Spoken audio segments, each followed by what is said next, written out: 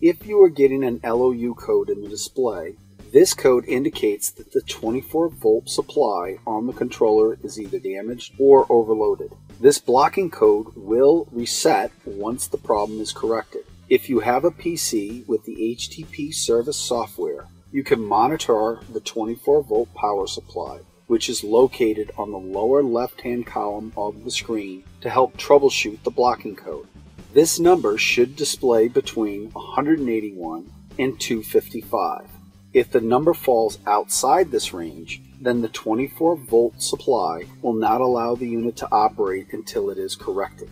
To troubleshoot this error, first check the line voltage on the incoming power to assure that the voltage is between 108 volts minimum and 132 volts maximum.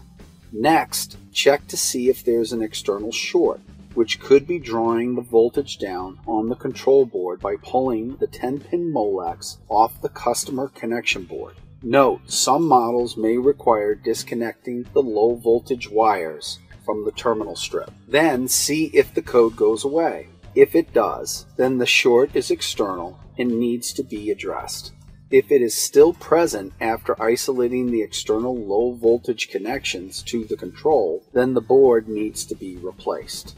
Third, if you experience the LOU code when the unit goes to fire, this could be caused by the gas valve solenoid coils drawing down the 24 volt power when the control energizes the gas valve. Isolate the gas valve by pulling off the connecting cable to the gas valve and see if the LOU fault goes away.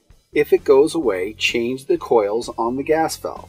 If the LOU is present with the cable disconnected, then the control needs to be replaced. The same procedure is done if you install a UL353 low water cutoff. Disconnect and determine if the fault is coming when the low water cutoff is connected to the control system. Replace the defective part and resume normal operation. If you continue to have issues, please call the factory for further assistance.